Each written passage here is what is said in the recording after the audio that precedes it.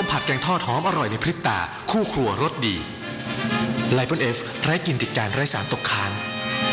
พัดลมโอโกวามาตรฐาน ISO ประหยัดไฟเบอร์ 5 เสนอ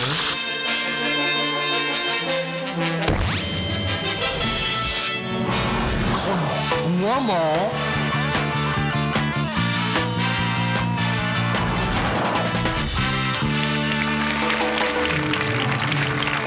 สวัสดีครับท่านผู้ชม ใครที่เป็นบ้านเล็ก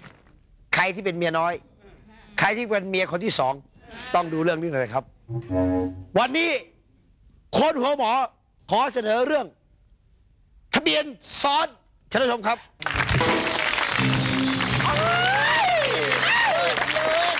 ภูมิใจแล้วก่อนนะวันนี้เนาะนอนนะสิ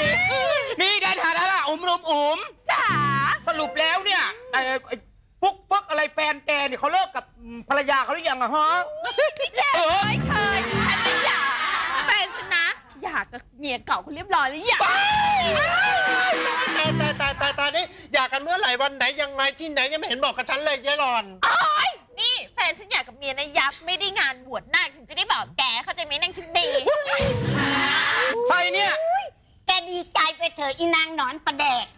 แก พี่ฟลุกอะเฮ้ยไม่ไงนี่ปากปลาล่าอีหลีนะเจ้านี่ฮะปากมาดิปากปลาล่าอ๋อไม่ใช่ไม่ใช่เขาคือออออดีตเมียพี่ฟุกแต่ว่าแบบพูดแบบเนี้ยก็ไม่ดีนะคะพูดอย่างเงี้ยหมายความว่ายังไงอะเอ้าก็แกดันไปจดทะเบียนสมรสกับพี่ฟลุกตอนที่ฉันยังไม่ได้หย่ากับเขานี่ยักษ์อย่างนี้ก็หมายความว่าโอ้มจดทะเบียนสอนเมียน้อยนี่ จะบอกให้นะพวกหล่อนทั้งหลายแหละที่คุยกันอยู่ตรงนี้อะนะอื้อหือตอนเนี้ยยายอะเลิกกับคุณฟลุกแล้ว อุ๋มเพื่อนสาวก็ถือว่าเป็นผู้ที่ครอบครองทะเบียนสมรสแต่เพียงผู้เดียว เพราะฉะนั้นแล้วก็ถือว่าน้องอุ๋มเพื่อนสาวอะเป็นเมียของคุณฟลุกที่ถูกต้องตามกฎหมาย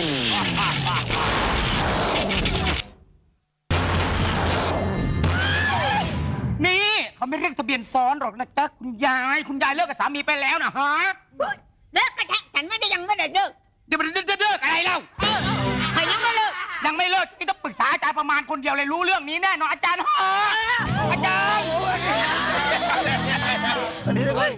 โอ้โหนี่สวยขึ้นทุกวันเลยว่าไงคืออย่างนี้ฮะคือสามีเนี่ยเลิกกับภรรยาเก่าไปแล้วอะแล้วไปจดทะเบียนสมรสใหม่กับอีกคนนึงอ๋อออย่างนี้ก็ถือว่าเป็นทะเบียนสมรสที่ถูกต้องตามกฎหมายใช่ไหมฮะโถผู้ชายหย่าไปแล้วค่ะจดทะเบียนใหม่ต้องเป็นสมรสสิครับ ถามแบบนี้ตอบเลยนะว่าเป๊ะ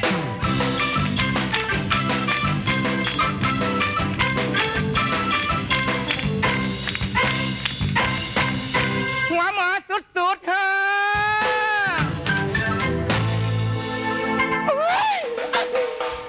แล้วแต่เปลี่ยนจะบ้าทุกวันเลยบ้าทุกวันเลยบ้าบ้าทุกวัน แล้วมีปัญหาอะไรล่ะก็นี่อะคุณยายอะอ๋ออ๋อคุณยายได้เมียเก่า เมียเก่าของคุณฟลุกเขาโอ้ แล้วมีปัญหาอะไรยาย ก็ก็ระหย่ากันไปแล้วก็จบเลยเอ้ยมีใหม่เหรอใช่ค่ะยังค่ะแล้วก็สมบูรณ์แล้วนี่มีปัญหายัอะไรงค่ะเขาไปจดทะเบียนสมรสกับพี่ฟลุกของจีฉันน่ะ ตอนที่ฉันยังไม่ได้หย่ากับพี่ฟลุกเลยค่ะ อาจารย์โอ้จะเป็นซ้อนใช่อ๋อค่ะแล้วเราก็หย่า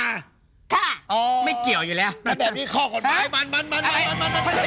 มันพลิกยังไงฮะอาจารย์จดทะเบียนสมรสซ้อนเป็นโมฆะแม้เมียเก่าเขาหย่าไปแล้วความเป็นโมฆะก็ยังมีอยู่เหมือน วน ใครเจอคนหัวหมอมาหูหมอกับคุณ ติดต่อกลับมาที่นี่ครับ